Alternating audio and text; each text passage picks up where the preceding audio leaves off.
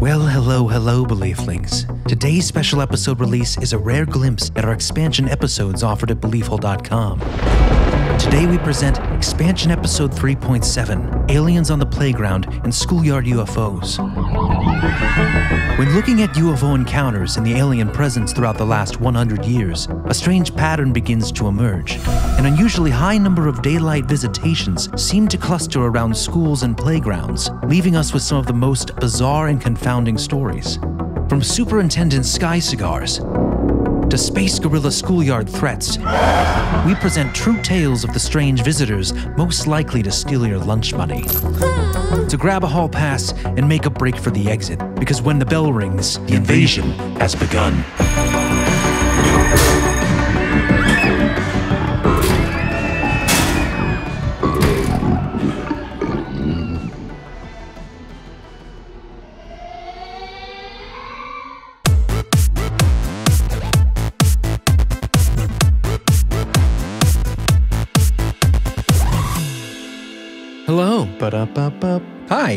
Welcome into the hole for an expansion. Jumping off the first episode, which was hopefully a semi coherent expose of the latest disclosure that's been going on since 2017 and onward. Yeah, that was a lot to get into. A lot to get into. I'm sorry for all the acronyms, but I got this book.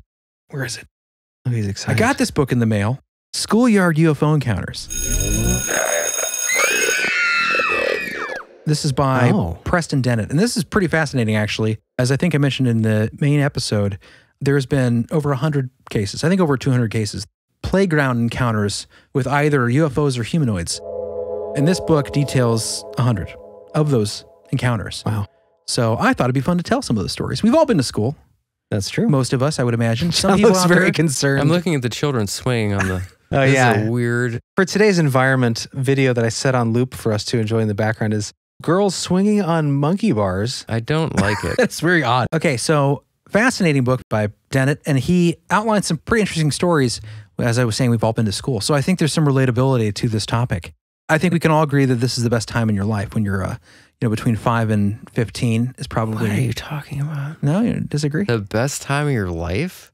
Chris's any nostalgic time is the best time in his life. Any other time than now. I don't know, man. 1995. I don't know. 17 was a pretty good age. Yeah, that's true. 17 is great. When you're just coming of age and But you're. there's a lot yeah, of like there's a lot angst. intense stressors and Yeah, that's true. I don't know. Everything is too high value when you're 17. Like this is the end of I, the world. I would not want to go back to that age right now. Would you? But John, would you want to go back Ah. to eight? No.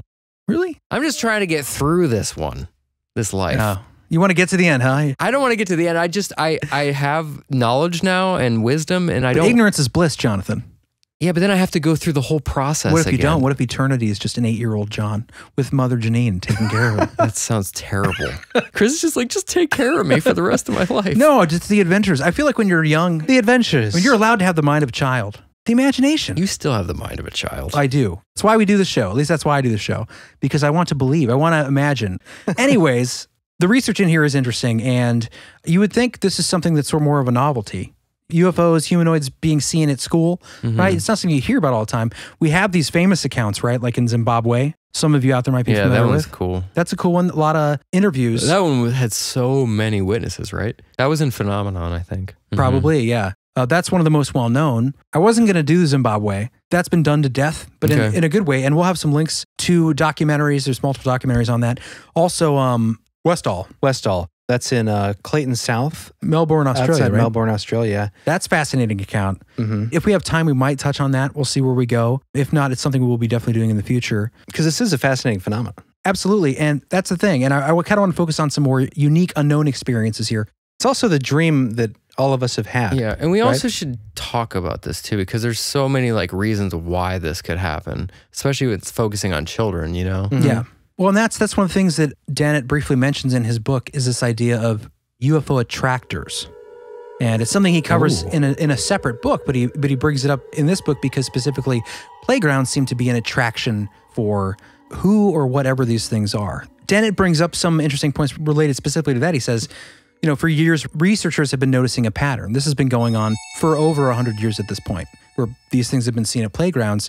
And if you do the average of numbers, it equals out to about two UFO playground encounters every year.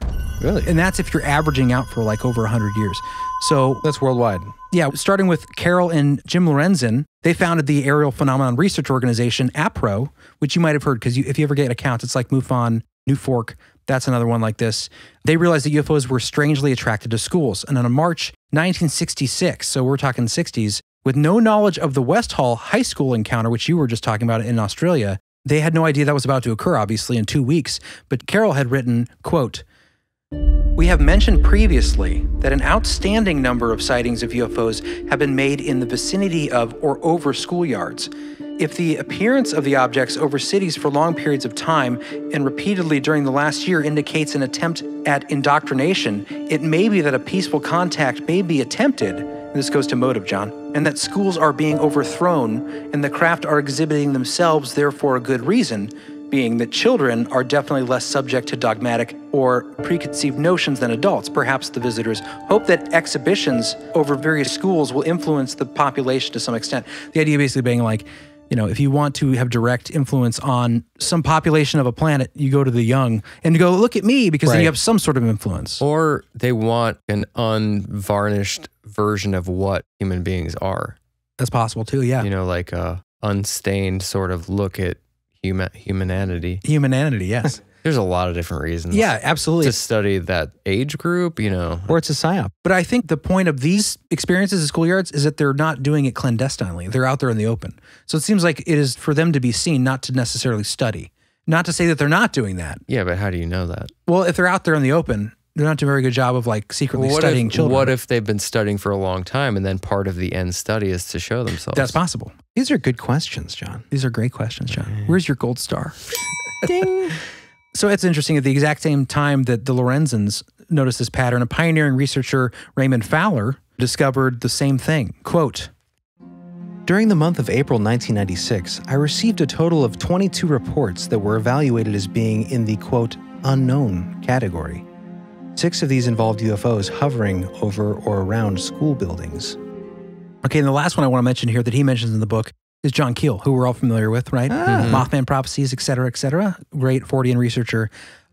In 1966, researcher John Keel was investigating and documenting a wave of sightings and unexplained events in where? Point Pleasant, Mothman. Mothman, uh, Virginia. Like the Lorenzens and Fowler, Keel, even at this time, noticed that a large number of his cases involved schools. After investigating the case of a landed UFO, he wrote, I was perturbed to find that it was right next to the Duncan Falls Elementary School. An unusual number of sightings and Fortean events seem to be concentrated around schools, and the largest percentage of witnesses consists of children between the ages of 7 and 18. Okay. Mm-hmm. Yeah, interesting, right? And it's funny because you don't hear about this stuff a lot.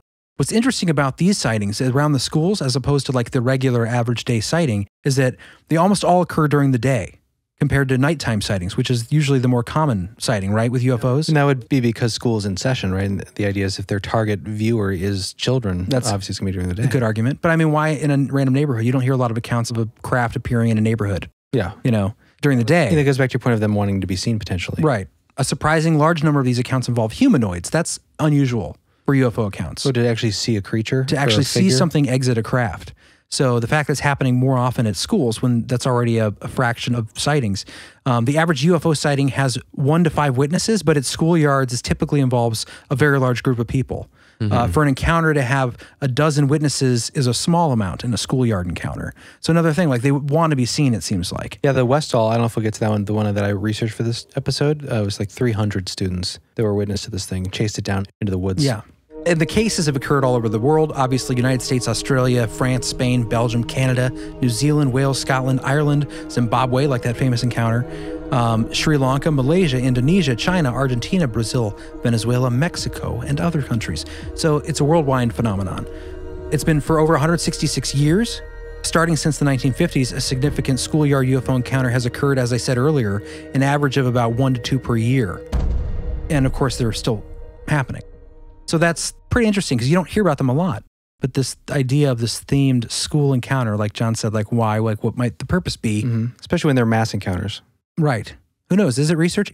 And John mentioned earlier the idea of a psyop, which I think is interesting. Well, the, yeah, exactly. If you want to affect the future, Well, no, I, I, well, I was personally thinking specifically of testing some technology to fool people. Well, that's what a psyop is, right? I'm thinking Earthbound. Yeah. Like maybe military. Yeah. So I'm not going to get into the famous cases right now. Um, I'll just mention, you know, we have the Australia one we mentioned earlier, Westall, Victoria, Australia. That included teachers and students, uh, 100 or more. But Westall? Yeah. That was 300. It was, was it that many? Mm-hmm. Then you have Broadhaven, and that was in Wales, 1977. Primary school aged witnessed a silver cigar shaped object. Crestwood Elementary, that's Florida. Apalaka. You had um, 200 elementary aged school children in Florida. Have you ever heard of this? Isn't that bizarre? 1967. 1967, 200 school kids witnessed this craft. Three teachers saw it as well, another cigar shaped craft. And then finally, the one we mentioned, the Zimbabwe experience in Ruwa, Zimbabwe in 1994. So, relatively recently, we were all in elementary school in 94. 62 primary school aged kids witnessed two hovering UFOs in the presence of two entities that came out of the vehicles, John. And that's what you're referring to, I, I believe. And I'm pretty sure that was highlighted in that documentary where you had Maybe I was thinking of one that was in Australia. there were no humanoids in that case. The Zimbabwe case had something dressed all in black with big black eyes. You have all these great video interviews with these yeah, children. no, I guess the other one I was thinking about was a craft that was in the air, and mhm. there was beings that came out on the craft, and they would like stay there for hours. I don't think that was a school one though. Yeah, Westall wasn't that long. It was in like Guatemala or something. Okay. And some gathering of people, and this craft came down and stayed in the air forever, and humanoid beings came out on the craft and just stayed there for That's a long time. Crazy. Bizarre. I know the Australian one in uh, Westall, that was like a half an hour long, but I don't think there were any, in that case, there weren't any. Yeah, I was thinking about the Z- the Zimbabwe one was where it looked like they were wearing like a wetsuit or something. Yeah, that's Zimbabwe. One of the creatures was described as having an all black suit or like black clammy skin, big black eyes, the typical eyes. Uh, one student though said the one on top had Long black hair. long black, it kind of kind of fat, but he said he looked like a hippie, like long Oh my. God, really? Yeah. Well, they said that they were telepathically communicating with them, saying like your Earth is in trouble, sort Right. of thing. That was the message. So maybe it was a fat hippie Yeah, from the that's future. what it looks like, dude. Could be. Who That's came back and was like, "Hey, man, you guys are destroying the planet." Yeah, and if we ever do, I mean, part of me I was torn because I kind of wanted to cover those because there's such good audio testimony in that. But I figured that's one that anybody can look up. It's pretty pretty available. So I want to do some more unique stories with some interesting aspects that you don't hear about a lot. So that's what we have coming up here. Let's take a quick break first. Okay.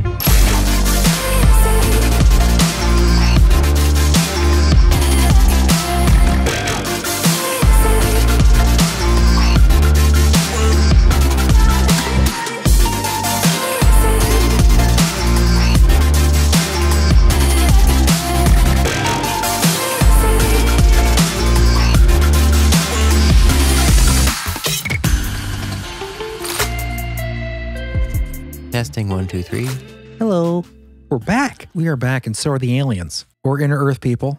yeah, aliens, maybe, maybe inner Earth, maybe uh, government. A lot of this is military. Oh, I'm sure, absolutely. I mean, you look at like all the experiences people have. Where did they get their technology from, though? Reverse engineering, bro. Breakaway civilization. From the aliens? well, no, no. Hold on. I hold think so. How come we had such a big jump? That's my big question about the whole thing. Like that kind of out of anything proves like there might be something else because it was like unless there's just a natural exponential growth. But we went for like thousands of years just inching along, and then like the 40s and 50s come, and it's just like Well, it depends, and that's a good question. It depends. I mean, you can first of all, let me just say that the breakaway civilization idea, right? That there has been since the 40s with the Nazis using occult research and communications with supposedly entities from the other side. whoa, Right? What are you talking about? huh. This is a fascinating concept. Um, Why didn't we do that for the expansion? we have many expansions that we can do, John. And I think what's fascinating is the occult connection with the Nazis. Their their fascination with occult, not only I magic. didn't know that. Really? Yeah, dude. Really? They believed in that. what we covered in our, our um, Hollow Earth episode that their attempt, alleged attempt to find Shambhala, the inner Earth, they believed that the Aryan race was an ancient race of advanced beings. So it ties into all this, but there's some fascinating connections when it comes to advanced technology. We talk about craft that are seen. I think a lot of these that pop up, I continue to think possibly these are a breakaway civilization from, if you want to call it the Fourth Reich, some Nazi outpost that exists in Antarctica. There's evidence that they went there after World Yeah, War it- II. it sounds crazy, but they we- were developing UFOs. Sorry, go ahead. It sounds crazy, but we did a little bit of Admiral Byrd stuff if you remember him from our Inner Earth episode Uh-huh. we did, The Flugelrads. the Flugelrads. But that was outside Admiral Byrd. That was someone else who had his experience in there. It was an alleged journal from Admiral Byrd where Diary, yeah. talked about the Flugelrads and he talked to these people in the Inner Earth. But the facts that we know about Admiral Byrd's expedition up there, or down there rather, was that there were hundreds of military personnel armed, and you had aircraft carriers, you had aircraft all going down for a quote scientific mission. When we know, and there were there were documents stating that there were people in Hitler's administration, if you want to call it that, that openly talked about how they were making a New Schwabenland a new Schwabenland. They were making a paradise for Hitler. in Antarctica. They had a compound that was safe from enemy incursion in Antarctica. These were statements at least made by the higher up Nazi generals. So Admiral Byrd goes down there, and it's supposed to be a scientific expedition, but it includes like some like I don't know, fifteen destroyers, four hundred armed servicemen. The storyline has been that it's, it was just for scientific purposes, just to explore. And then they lose two planes. Supposedly there was some conflict, and they ended up retreating. And the idea is the Nazis, after losing the war, maybe Hitler faked his own death, maybe not, but they went to Antarctica and started a basically a new civilization that used the uh, technology and possibly connections with people from the inner Earth, ancient advanced technologies. Who knows? But they were testing UFO craft. They were testing flying saucer. You can see photos now that on the record that are Nazi swastikas. right. Some are Photoshop, but some are real. And the question is, are some of the stuff that we're seeing now some of the Nordics that people have seen? Maybe there is some ancient Nordic race that you know, maybe they weren't actually aligned with the Nazis. Maybe they were, whatever. But maybe there was some reality. So I think we got to come to that. And first of all, I know it sounds crazy, like the Antarctic Nazi thing. Like there's sci-fi movies that are made about it. It's this because Right. it sounds so out there, but at the same time, there is actual historical truth to it that's not classified anymore. But we started off with the occult part Well, of it. yeah, Like, that's what I wanted to get to. First of all, how did they, how did the 1940s Nazi Germany get this technology? Unless there was some breakthrough. Right. So here's one of the questions too, and the reason I brought up the occult thing, John, is because the occult aspect that's always been fascinating to me as far as the ad- advancement of technology. Because not only the Nazi connection with their interest in the occult and uh, the Vril, but also this this point always stuck out to me, and I'd like to try to find more information on this. But the television, right, which washes all of our brains, television. television on a daily basis, like this creates your reality. Now it's more YouTube, the internet, whatever you pay attention to. But for for a lot of people, The it's still screen, basically. It's the screen. your iPhone. Right. And it, it- this all came from television, right? Network TV. Right. And from what I remember reading, and I'd love to do an episode on this. If you guys out there know more, tell me. But the guy who was developing the television, who invented, I think it's the The cathode ray. cathode ray tube. right. He was trying to communicate with the other side. Oh, really? I think I've heard that before too. Yeah. John, your your words sound very. I have a thing in my mouth. I do. Very I have a pretzel rod. Sorry, I will swallow that.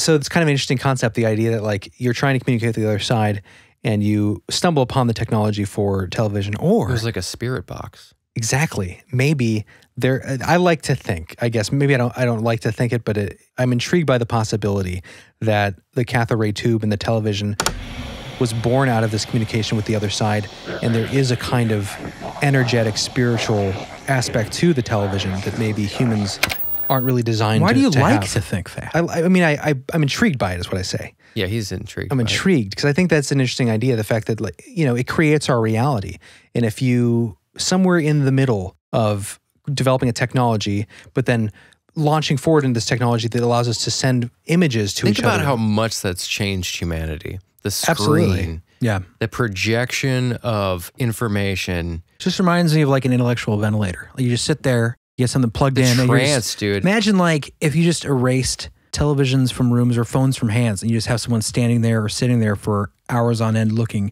and being immobile. Creepy. Go ahead. Here's the spooky side of it. This is the spooky thing to me is that you have Poltergeist, right? The famous image of the girl sitting in front of the screen, the the ghost coming out of the screen. Here. Exactly. And you have uh, the idea of the white noise. What if the guy who was developing the cathode ray tube to reach beyond, uh, he created the television, found that technology, made it work, but at the same time, maybe he partially achieved what he was trying to do, and maybe there is a kind of otherworldly energy that comes through the television.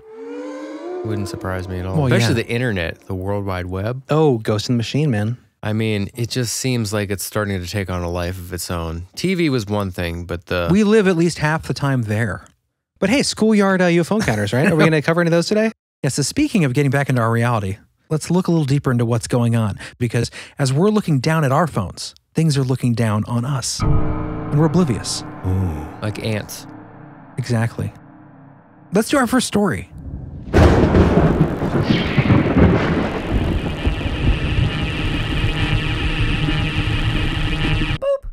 Okay, so the first story I wanted to get to, it just relates to the first episode we did. So I thought it would be interesting to do.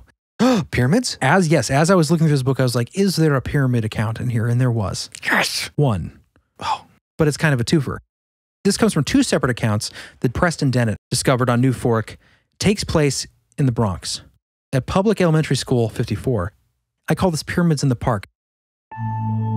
An incredible school encounter occurred in May 1970 at the Public Elementary School number 54 in the Bronx, in New York City.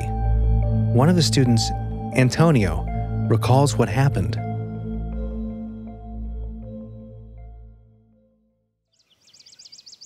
At around lunchtime, I and hundreds of other students and some of the school faculty saw a silver colored object shaped like a pyramid There it is. about a hundred feet up in the air above the schoolyard, spinning in place.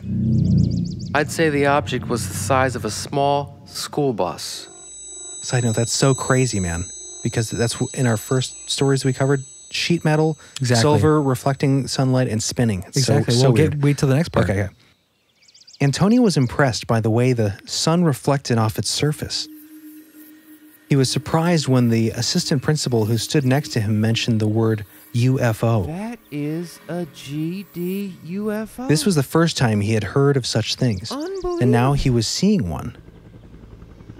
Shortly after the object appeared, a helicopter arrived and began to circle around the object. Antonio watched the incredible sight until the lunch bell rang, and he and the other students had to go back inside. All right, kids, it's just a pyramid craft from an advanced alien civilization. We got pizza bobs and turkey gravy inside, and it's getting cold. Years later, Antonio still recalled the incident. He has searched for any corroboration of the incident but has come up empty handed. It's as if I was the only one to watch this phenomenon, but there were at least 50 eyewitnesses. The school's vice principal also witnessed it, along with other staff members. This needs to be followed up. There cannot be an unconfirmed UFO report when there are scores of people who witnessed it. The same evening, the object returned over another Bronx school.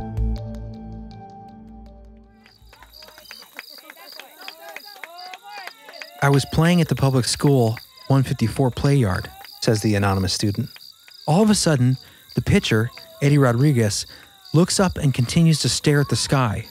All the players look up, and there were two moons. The moon that wasn't supposed to be there released a smaller object and soon overshadowed the original. It was very large in the sky. It looked like it was alive and about to fall on the ball field. My friend, Eladio Alvarez, said, Run! It's gonna fall! Eddie and I couldn't believe our eyes. This thing was going to crush the park and everyone in it. Over 150 people started running for their lives. As I watched this thing get massive over the park, it disintegrated to the sides and disappeared. I've never seen anything like it. Many people saw this. I just happened to be in the South Bronx play yard of public school, number 154. That's creepy. So I just wanted to bring that story in because it was the pyramid connection of what's going on right now with these pyramid sightings. Seems to be a sort of new phenomenon, but maybe only publicly now are we seeing images of something that's probably been here for a long Or time. publicly confirmed, yeah. acknowledged. What Yeah. if this whole point of existence to now is just this like dream state of human beings where like back in time like we had these connections with other terrestrials, other parts of the universe. We've been in this dormant phase for a really long time to sort of develop in an experimental lab. oh, to like remember where we came from? Is that what you're saying? Well, I don't know about that. Maybe. I feel like humanity's been on this ever deepening sleep into materialism Mm-hmm. and just, you know, for a long time over the past couple hundred years, it seems like we're going deeper into this sleep state. Right. You know, we're just obsessed with materialism. It's very difficult to get science to even acknowledge anything outside of this three dimensional world. But what if the reality is obviously that there's just this much grander Yeah, thing? a cornucopia of Right. life forms and Life form and universe and all right sorts of things. interdimensionality. And I think on some level there is an awakening, even in scientific community, Yeah. where this is a, a possibility. And I, and I think you're right, though. I think what it used to be was we had a broader vision because we allowed mythology, We could spirituality. see stars. yeah, or even just that. We could see stars. We didn't have this light pollution. Religion and tradition and myth allowed us to believe in the supernatural. And now we've eradicated that to a certain extent. You can see the last vestiges of spirituality, supernaturalism, I guess if you don't use it as a term, in the beginnings of, you know, Victorian science and medicine, as that starts to advance, we start to lose a lot of the superstition, the supernatural, what you'd call superstition. But it used to be more of like an intermixed kind of thing. And I, Right. I can't help but think ancient civilizations had more of a mixture as we're seeing Yeah. the things that they were able to develop. We could see the technology that they had, or at least evidence of technology that they had.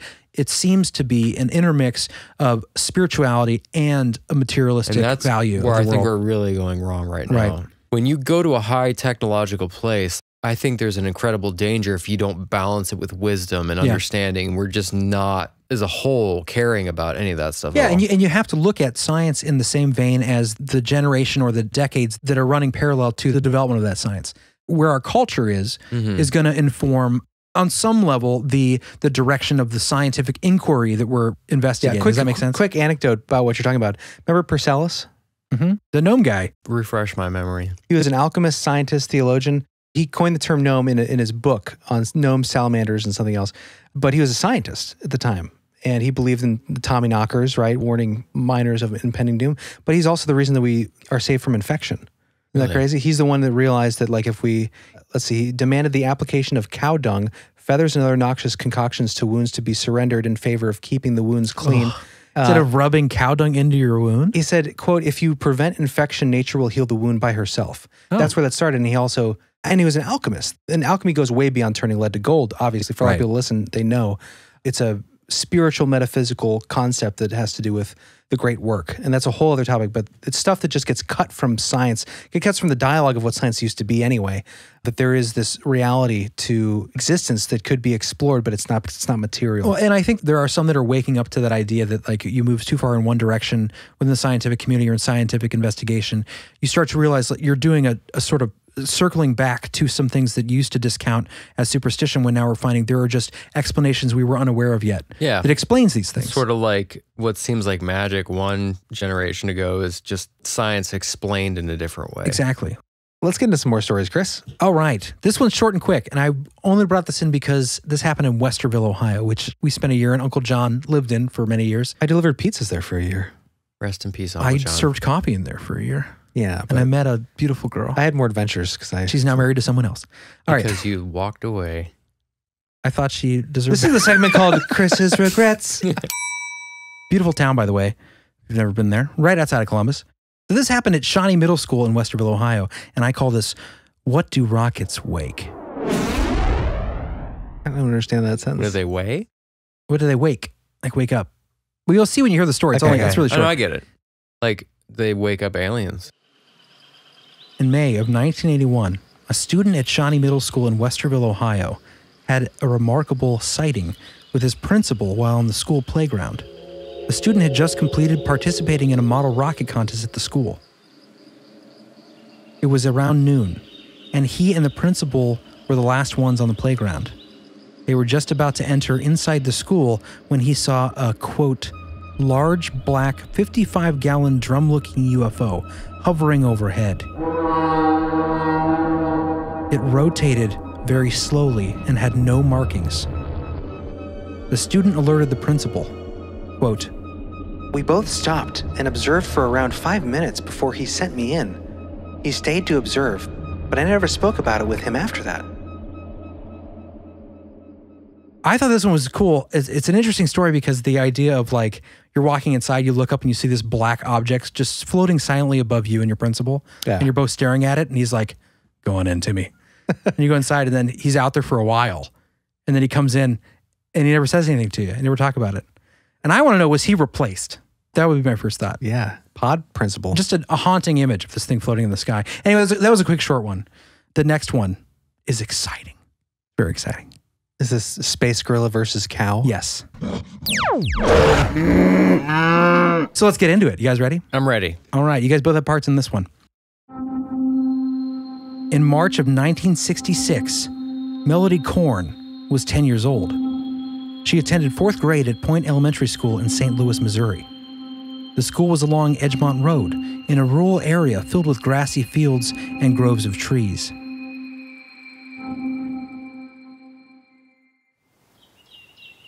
Just behind the school, there was a farm bordered by a white picket fence. A small group of cows grazed there and were visible from the edge of the school grounds. For Melody, the highlight of each day was, of course, recess. On this particular day, however, recess would change her life. Normally, Melody would join her friends and play foursquare with a bouncing ball. On this day, they decided to play tag. While most of the kids stayed closer to the school, Melody and five other kids moved over to the school ball field. Melody saw them first right on the baseball diamond area, a weird set of footprints. Whatever made them, it walked on two feet.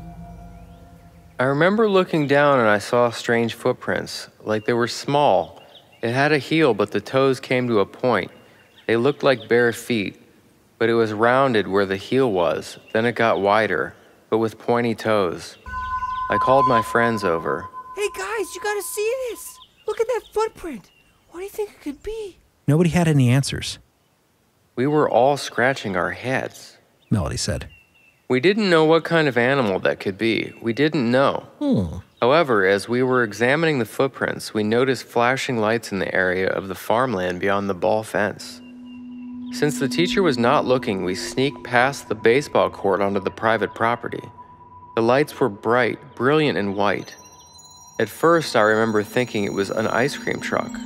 We saw flashing lights, and I remember being 10 years old. We thought, oh my gosh, there's an ice cream truck down there. How did an ice cream truck get back there? But there was no noise, just flashing lights. So we thought, let's go down there and check it out. Well, it was beyond school property. That didn't stop us. We, the six of us, went down past the school property, and as we approached closer, we saw a silver spaceship type of thing with white lights going around the top, but yet no noise, no music. We immediately realized it was not an ice cream truck, but we didn't know what it was. We saw a gray like saucer shaped object with lights going around the top. It was aluminum looking, not big, rather small actually.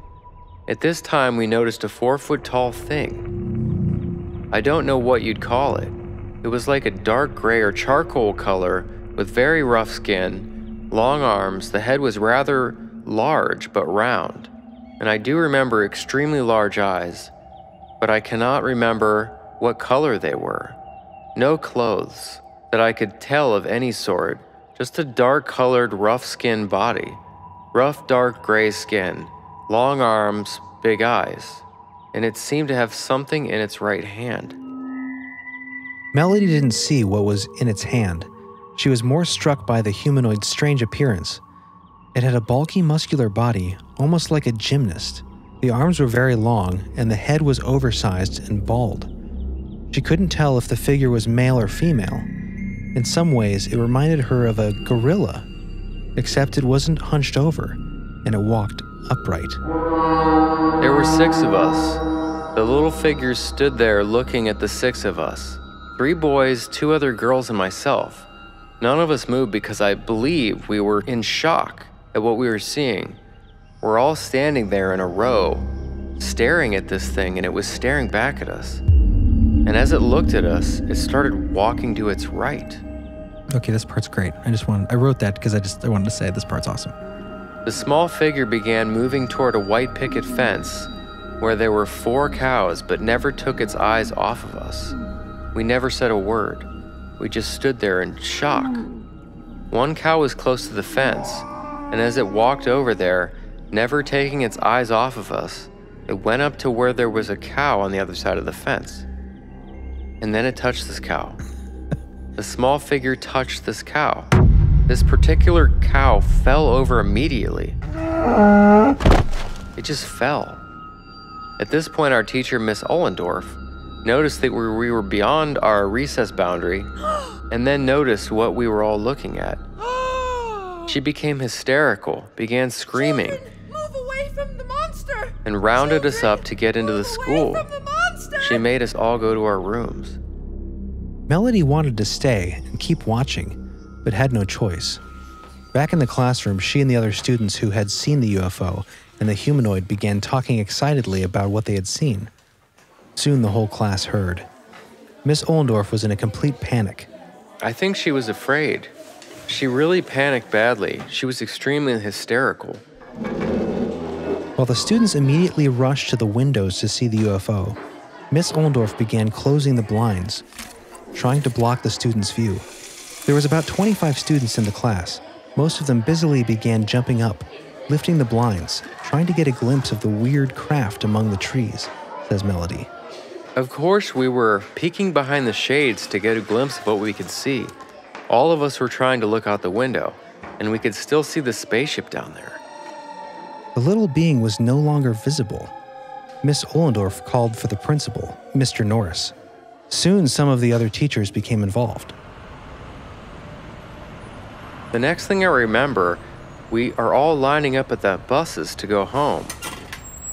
Which, as I got older, I thought, that's strange. It wasn't time to go home.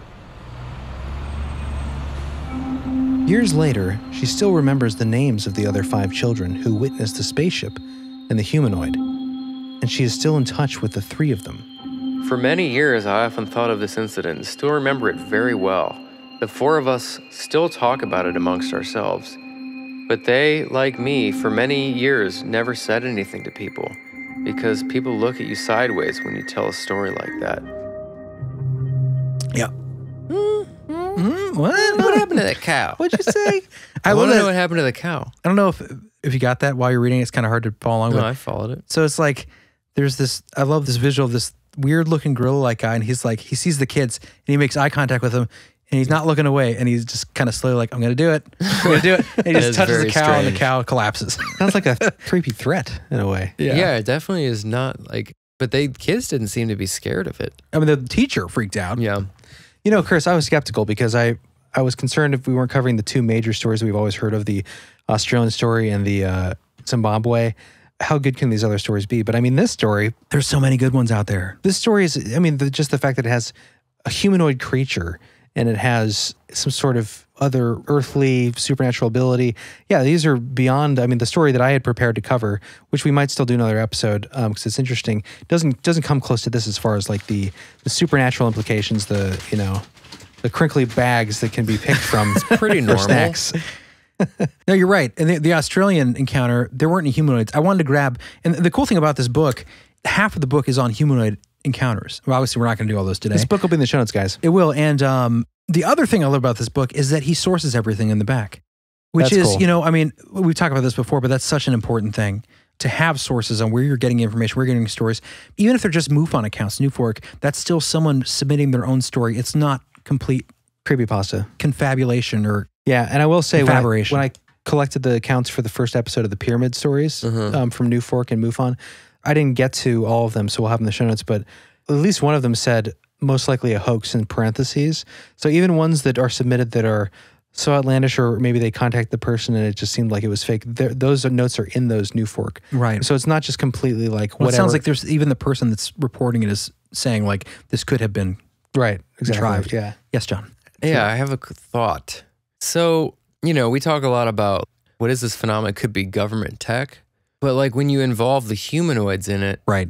my question is could it still be government tech or could it hmm. still be? yeah.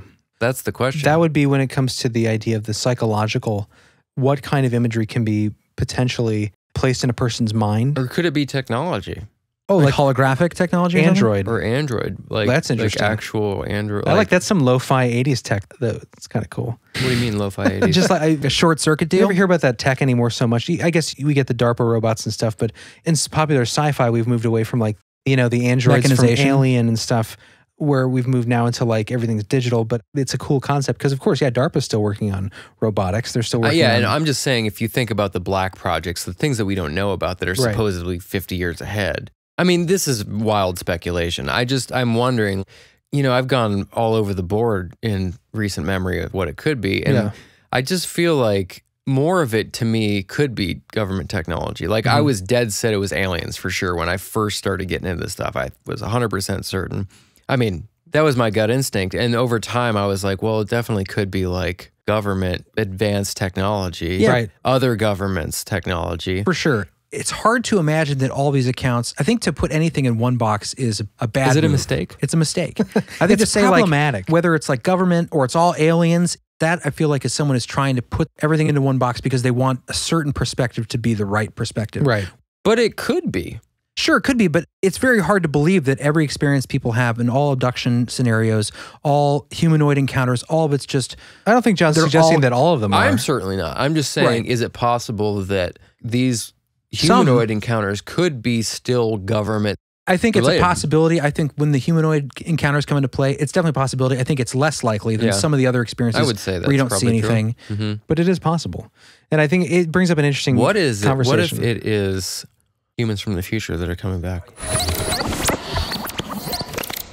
That's, That's a yeah. classic theory. Mhm. I've Yeah. talked about this before. The idea of like, especially when you have like the grays, right? You've got these spindly looking Yeah. guys with pot bellies and big eyes. Well, if you're, you know, sitting at home Netflix and chilling and you're eating food all day. See, I've heard that the Greys are government Robo- technology well, I- before. See, I mean, there's so many theories out there. I've also heard. I mean, I'm just yeah, right. I, I think no the, idea, per- the purveying theory is that, Yeah. and even if you hear, like, for example, Travis Walton's story, which we've never covered in depth, we've mentioned on other episodes, is that the fire in the sky guy? exactly fire in the sky. Rogan. Yeah, uh, but his experience was basically like when he encountered what you could kind of describe as grays.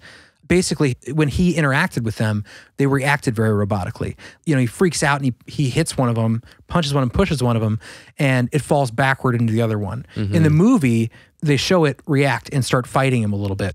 But in reality, in his story, Almost like a like it just a fell robot. down. Like it, was, Meow, it meow, meow. wasn't designed to face adversity, physical Or adversity. anything outside of its programming. Exactly. That could be just species if it doesn't ever fight or anything. It's Right. all technolo- like very high technology, very little physicality anymore. Yeah. It's all brain function. It's all even consciousness based. They just don't. Interact physically. They're not a very physical being anymore. That would make sense why you would, let's say this was a living life form. When you come down and you abduct people, you have, you know, almost every account is I was immobilized. Right. I was because they can't floated up. They're not very good at confrontation. right. So you would want your subject to be completely immobile. Their brains are huge. Well, their heads are big. That's what I'm saying. Yeah. Mostly empty space. But no, to your point, I think that it's definitely a possibility. What but do you think it is? in my opinion, from looking at so many accounts, there are certain situations where if I could believe in anything absolutely in regards to this phenomenon, there are absolutely cases where there are things that are not earth bound or there, that are not human in nature or origin. What do you think they are? I think it's a mix of extra dimensional, extraterrestrial, probably extraterrestrial, and definitely there are government operations Where are they from? Anywhere. Well, uh, there's the other thing. Like I know we talk a lot about interdimensionality as a possibility or inner Earth, Mm-hmm. but if you think about it, and you hear this theory a lot, it's not a new theory, but if you have something that's that advanced that could travel that far, like let's say there's something that's you know millions of years further along than we are, at least as far as technological development, to think that you have to follow along the same concepts of physics and the physicality of the world we live in. That seems crazy to me. That if you're that far advanced, you've probably figured out things that we're we're so blind to right now.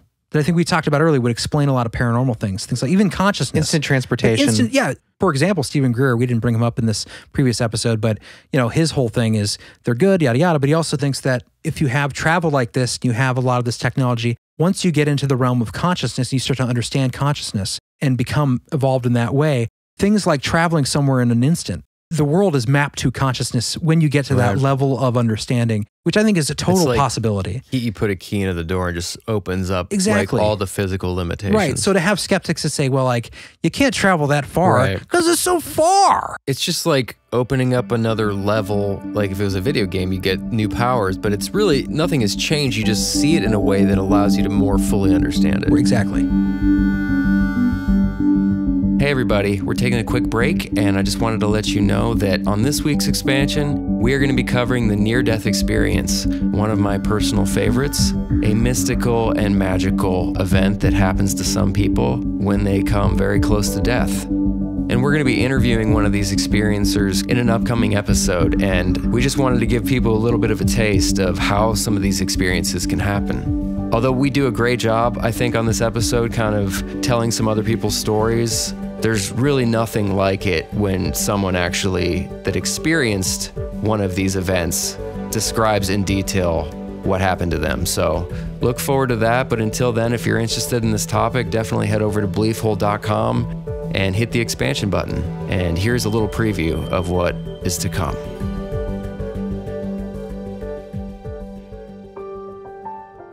I had my first near death experience when I was a child, perhaps two or three. This would be about 1953. It involved me drowning. My memories of it were seeing my body below me. I remember seeing a bright, warm, loving orb above me. I saw my dad and mom panicking below. I didn't know this experience was anything to talk about, and no one would have believed me. It never was a thing I felt I had to relate. Then in 1971, I had been knifed with a stiletto. What's this? Isn't that a The heel? high heel. Yeah. How do you get a knife with this? They're sharp. What kind of life was he living? Is, is he hurting prostitutes? Yeah, I think he was smuggling cocaine at a club. It's a weird That's thing to be strange. knifed by. Awful though. Okay, so a knife by stiletto that had severed an artery above my liver. I remember looking up and seeing a light. I then looked down at my body, and then I was confronted by at least two beings. They were human in appearance, and they seemed to float in midair. That's another theme, by the way. Mm-hmm.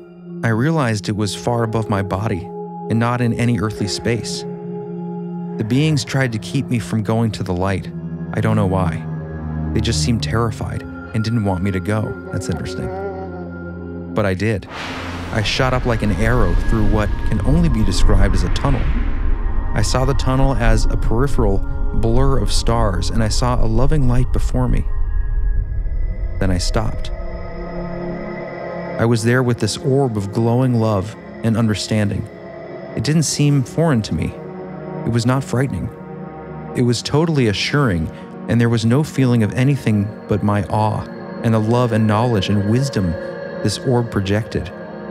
In size, it would be not like looking at the sun, but looking at the earth when you were on it. It was immense and total, and its power was love. I felt a presence next to me, a man, and he asked if I was ready for my life review. Are you ready to review your life?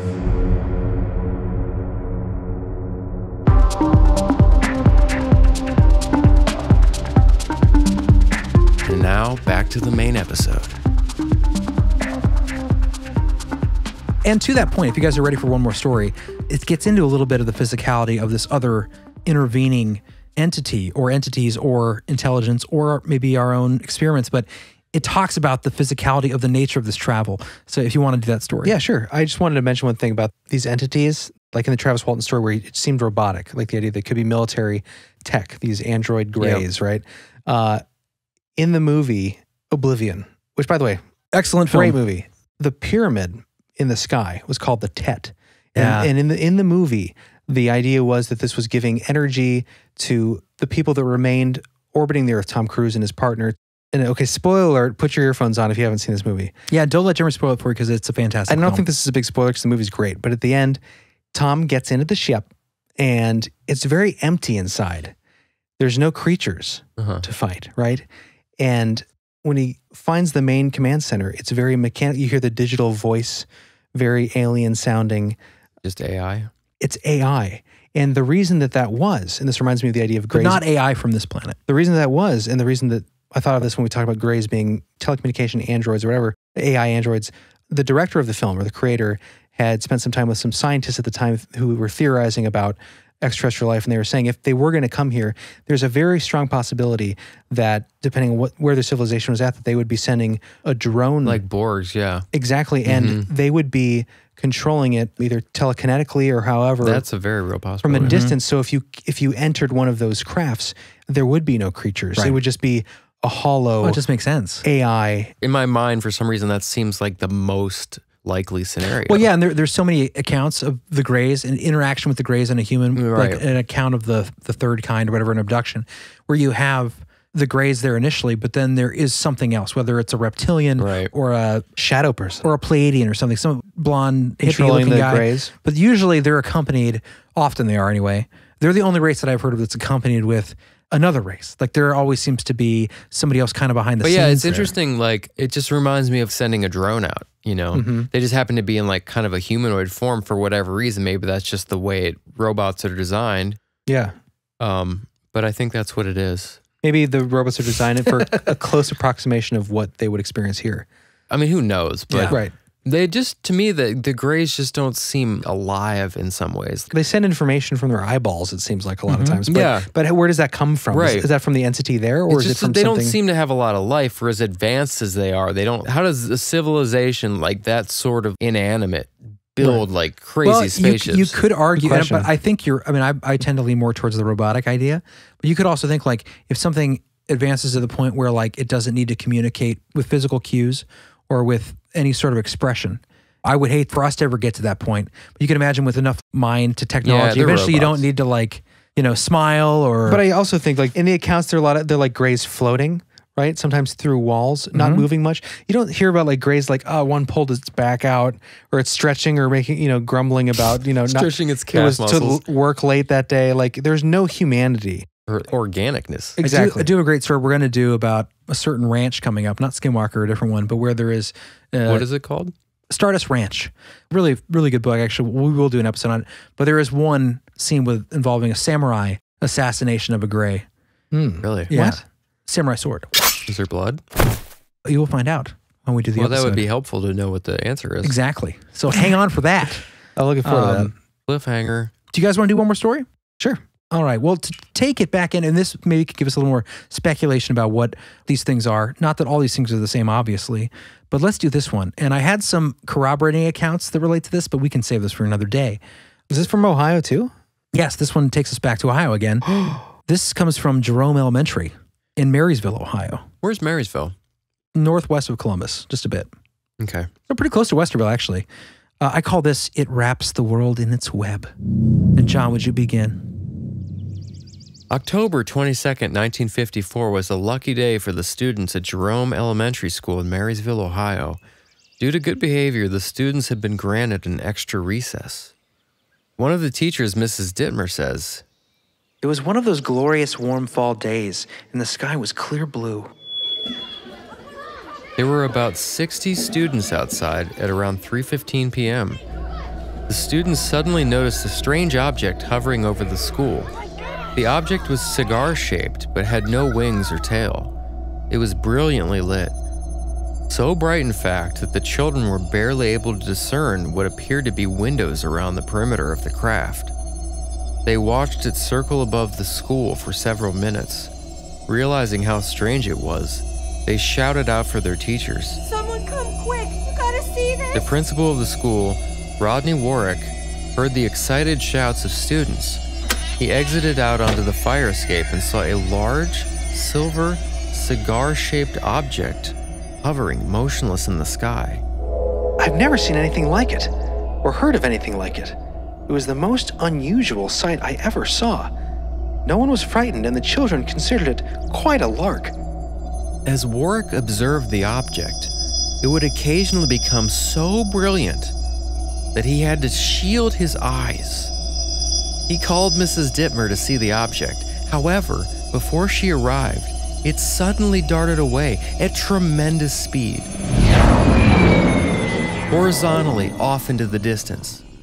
While Dittmer didn't see the object, she and the others did see something just as strange. As the thing departed, it emitted a trail of white spider web like substance known as angel hair all around them, covering the whole school.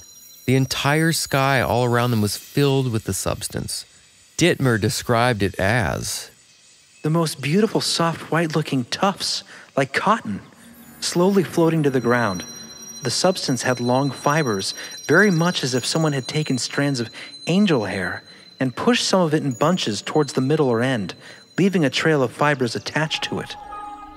the material fell to the ground for the next 45 minutes. That's a long time. Several of the children picked up the pieces. What are the teachers doing? You're letting them pick up UFO material? Go pick up the junk, honey. This is the 50s. They didn't know about radiation. Right. Well, Several of the children picked up pieces of it and brought it to both Dittmer and Warwick for examination. Warwick said it looked and felt like asbestos. but it clearly wasn't asbestos. It fell in the form of long spider web like strands and also balls of cotton. The long strands proved to be tough and could hardly be broken.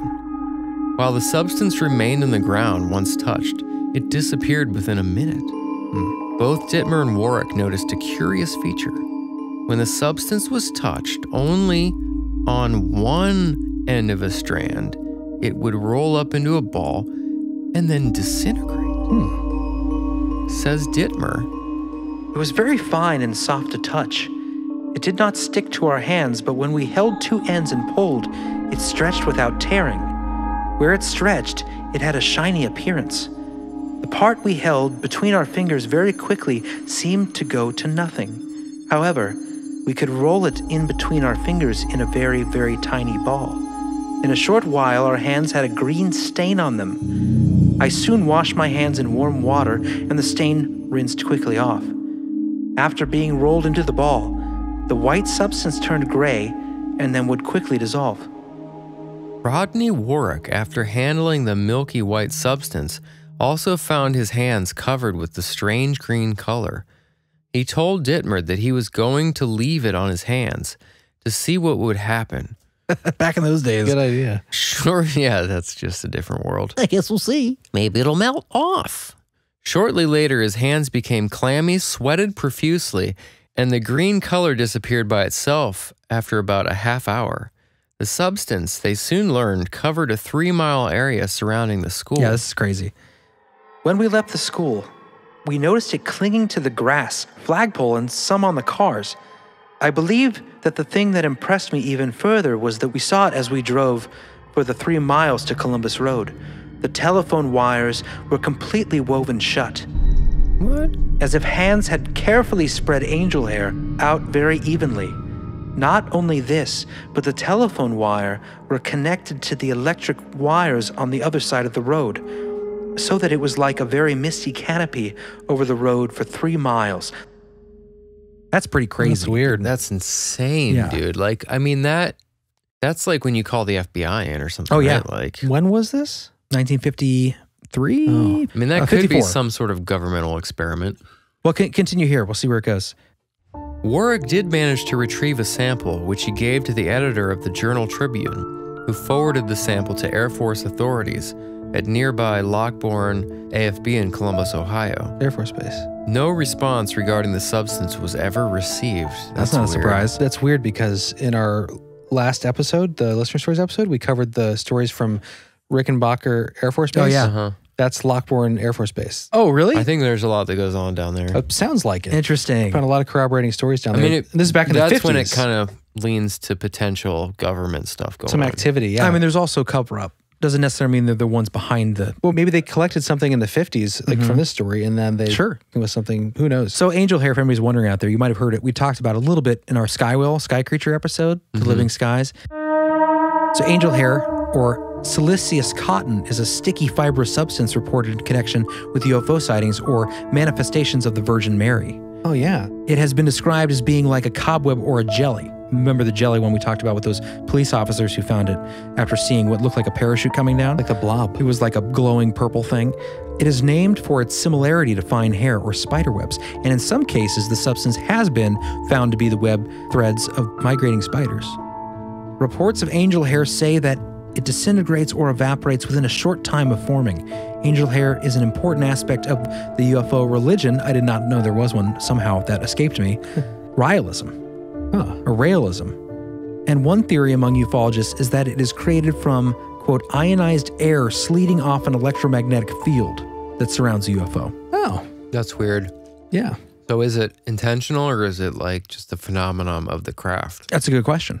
And it obviously doesn't happen in every UFO. Obviously. So you have to wonder: is this is this a certain kind of craft? Is it a certain kind of species? Is this a certain military project? From this specific story, it seems intentional because that's a lot of material coming down. Unless it's an accident, like as insofar as a malfunction, which Oh, is interesting. Eh. Which is interesting. No, it's interesting because these these things are not As a UFO engineer, let me just say. It extraterrestrials. just seems like a bit much. Well, if you believe that we've gotten anything from extraterrestrials, as far as like It seemed like it covered the whole area, though, right?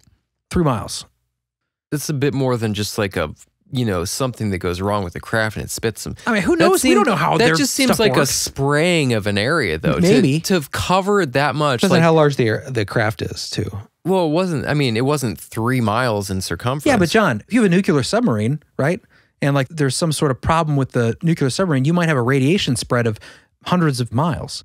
But this is a material. This isn't radiation or a sound wave or something. Right, but I'm just saying the You technology could say a involved. semi truck. A semi truck drives past and it poops out a little black cloud that ends up spanning. yeah, I'm just But saying it's we not don't a know. cloud. It's like a. It's a material. Yeah, but John, you're thinking Earth physics. I know. here. I just think it seems a bit intentional to cover something that deeply without any oh, It could sort be. of obvious malfunction. no, no, it could be. I it was just, just, seems the more likely scenario. well from an Earth perspective. Why? Where do you get the idea that it's a malfunction from? Because it doesn't happen all the time. We don't know what the purpose would be. There's no way to know. Is what I'm saying. I don't know. I get your point. Like it seems unlikely they it would. just seems like a not not the likely answer. Right. It seems like it would be an intentional thing to do. Yeah, there's no, there's no way to know. But I know what you're saying. It's that seems more probable That's all I'm that it was an intentional thing. I don't know for sure. Yeah. Experiments? Who knows? There are other accounts of the spiderweb stuff that I was going to get into where there are people that had to physically cut themselves out of it. What? Because they got stuck in the fall of this angel hair stuff. Well, it's Uh, even just the fact that there's other ones out there, it seems less likely that it's a malfunction. But if you think that there might be millions of visitations a year, But, they, but it seems like it was just during this time frame that this happened, right? Were the other ones recent or were they? no, still they're stretched they're back to se- the 1700s. There's examples of this stuff. And again, like a lot of it could be natural phenomena, like the spiderweb thing. That does happen where there's actual, you know, there are migrating spiders that drop these little parachute silk things, and you get Migrating spiders? Yeah, and you'll get these uh, giant fields of this these spider webs. You you've seen it. Maybe you've seen it before. I've seen it here. I think once. But you have basically these little strands coming out of the sky, but they're spiders that are basically jumping what? So they migrate on the wind. on the wind. Sometimes it's a natural phenomenon. It just looks similar. It looks similar, where you have a field covered in this stuff, and you see it falling from the sky. But there are examples, like for one example, we did in the Sky Creature episode with those police officers who found that jelly stuff. Right, the It started off as angel hair, this kind of material. It's it's a fascinating phenomenon. I'll link more in detail about this sort of stuff if you're interested. I didn't know that there were stories of people having to cut themselves out of the. Yeah, that was the next one I was going to do. I call that one Sky Cylinder Spinning Supernatural Silk. Wow. That's a lot of S's.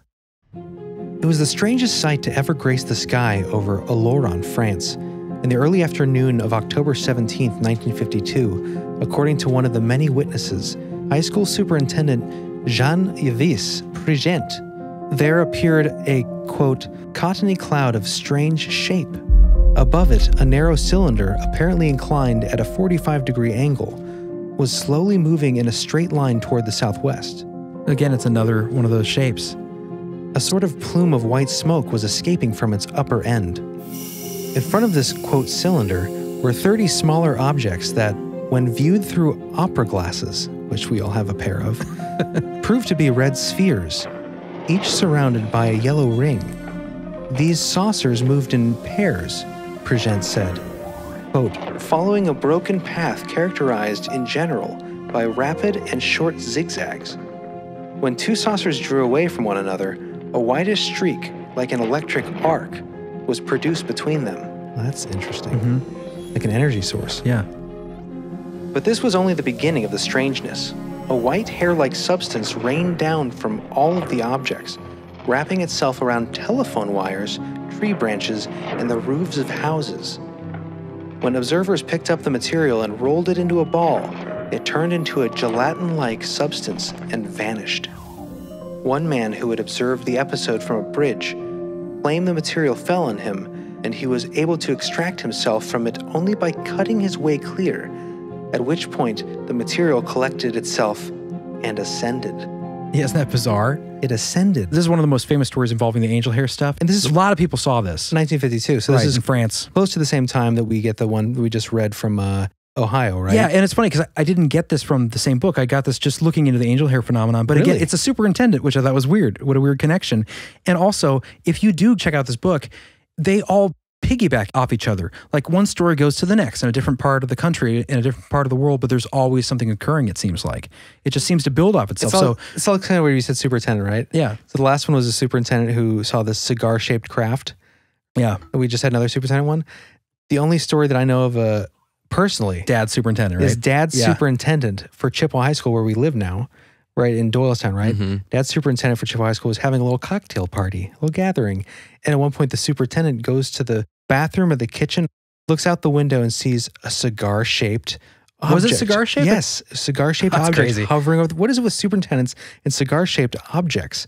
Uh, UFOs in Marysville, Ohio. Maybe that's near. I don't know. Maybe it was the same craft. Oh, it could be a- a little later, probably for Dad, but maybe I don't know. It's interesting. That is interesting. Maybe not. I mean, Dad started teaching in what the 70s, 60s, 70s. There was an account I was reading later that comes from Australia. Also references one person referenced that it was cigar shaped. Well, yeah, that's such a common thing. With schools, though, it seems like a specifically with schools kind of. Right. And John, maybe there's something to what you're saying about the intentionality of it, because if you look at these last two stories, they were both the same sort of craft. They were dropping the same stuff. Uh-huh. So maybe there is some sort of purpose behind it. Yeah, and in this time frame of the 50s, it seems it was happening a lot. So maybe it was Maybe they were inseminating. Ah, what if they're a species? they were seeding the planet. Maybe. Maybe they're sky whales. Although the window thing, it just it reminds me of like the Betty and Barney Hill thing where there are windows you see inside. Oh yeah, that is bizarre. Anyways, interesting. There, there's so much in this book. There's so much out there, guys. There's so much out there in, in our vastness of the universe. Yeah, if you guys want more specifically schoolyard UFO encounter stories, definitely check out this book. It'll be in the show notes. Just was a really great aggregation of all these kinds of stories. Yeah. If, if you are someone who's interested in researching more into this phenomena, Interesting stuff. Cool. absolutely. Yeah, maybe we'll do another one down the road. I mean, there's plenty to come. We only did a few, and there's plenty more. We'll definitely be going back out for recess sometime. I'll tell you that. that is terrible. So we're gonna explore more of these stories maybe in the future. Just I do like the theme type stories, right? Well, this guy does a good job with that. Um, Preston Dennett. His other books are interesting, and they kind of remind me of episodes we do because Oh yeah, some of these are great. We should definitely do. he is not from here, volume one through three, at least. And the chapters are like to err is alien. And it's kind of what I was talking about earlier. Um, ETs are clearly more advanced than humans, but they are not perfect. Sometimes they make stupid mistakes. And he has a whole chapter on every time something went wrong, every time like they made a mistake. You know, It reminds me of the Men in Black idea, where like right? Not quite sure how to eat food. not from here. Oh, right. Yeah. Yeah, they may be advanced in certain ways, whatever these entities are, these things, but they can't quite get things right. So it's kind of cool to focus on those stories. I think that'd be an interesting episode to do. Yeah, I'd definitely like to check out The more of his gaps, books. if you will. The gaps. The gaps of the ETs or whatever they are. Anyway, uh, let us know what you guys think about this episode. Uh, that was a lot of fun. There's definitely more stories to get That's a into. lot of fun. You, yes. But sometimes you just sound so milk toast. Guys, it was a lot of fun. Maybe you should come join us for some milk. well, you ended. You say what you want, No, that was great. That was some. There were some fascinating accounts. Thank you guys so much for being here. Absolutely. Hope you enjoyed this topic. There is so much weirdness out there, and Th- I mean, that's the thing. I think a lot of our listeners would agree with this. The path to discovery is the fun part to some of the stuff Yeah, for where, sure. where it's the mystery, where it's less of a threat of the unknown. Yeah, But right. more like I want mystery in life. That's one of the reasons we do this show. To have every mystery solved would make life boring. Yeah, and I don't think that's ever going to happen. No, I just think there's something built into life. that, Exactly. At least in this physical plane, wherever while we're here, there's always going to be unknown. There's a reason I think why it, this goes into a lot of like Keel stuff, a lot of Jacques Vallée stuff, but the idea that there are reasons why you get blurry photos all the time. There are reasons why you your camera doesn't seem to work in certain situations. There are reasons why these things. Is there a phenomena named There, I mean, there's ultra terrestrial is something that's been thrown out. The idea that ultra terrestrial? where like you have this consciousness that's aware of itself, this sort of meta version of a paranormal Like entity. Uh, maybe like a more more on the trickster paranormal side of it, like whether it's aliens or Bigfoot or Oh, or. UFOs, Like a phenomenon. Mothman, well, you're not allowed to see too clearly. Right. There seems to be, if not an alliance, an overarching intelligence that just keeps you from just enough to wet your whistle, to wonder what's going on, but not enough to ever really let you it know what's seems happening. to be a feature of our reality. Yeah. Yes, it does. that we programmed in. Even maybe. like synchronicity. Yeah. Mm-hmm. Mhm. That's a whole nother thing. And that's a that's a mind bending phenomenon. And even if the purpose of that is just to bend your mind, is just to, Yeah. to tweak that curiosity about life and the mystery of life, and to keep you keep you constantly awake to the Right. idea that this reality is special. more. Especially in the age of heavy materialism, it's important to have that stimulation that you just got to look up in the sky. It's the spaces in between. So, on that note, put your phone down, go outside for a walk, and talk to people and connect with your humanity. and then come back and subscribe to Believe. And smash that like button. and smash the like button. Stay with us forever in the hole. But take your breaks. Take your human breaks. seriously, get out there and just Yeah. experiment with the with reality, which we don't do anymore. Just be by yourself. Just enjoy some Go on a walk enjoy some trees. with silence. It's just walking in the woods. Just as scary as it might be for a little bit, just give it a shot and see what it's like. You might hear a voice. Luckily, I think a lot of our sign. listeners are tuned into that concept. I think we probably have a lot of people that are a little more It still takes aware of it everything. Still takes some push. I mean, for me, it's yeah, you know, no, for sure. Just another helpful reminder yeah. to be human. Another helpful reminder from us, your friends, at the Belief Hole. Bum, bum, bum, bum. The more you know. the more you know. All right, guys, we'll see you next time. Well, hold on. I'm not ready to leave yet. Oh, sorry. Well, you just that was very abrupt. John, you've had some in your mouth like the last hour. Everyone on the show is gonna be like, swallow it. Did you hear it? I like how you yelled at me for having snacks in here. I'm sorry. You're literally eating on the microphone. I don't want to do that anymore. So, what did you want to say, John? No, that's it. Okay, great. It just shocked me that we moved that quickly to the end. Okay, now we can go. Guys, thanks so much for being here. And we'll see you. We'll see you. Are we ready this time? We'll see you next I time. want to do it. I don't want to do the belief. All right. hole. Hey guys, we'll see you next time on the show. Thanks for coming. All right. See you later. Tickety toppity toot. Yowza! Yowza! The belief hole.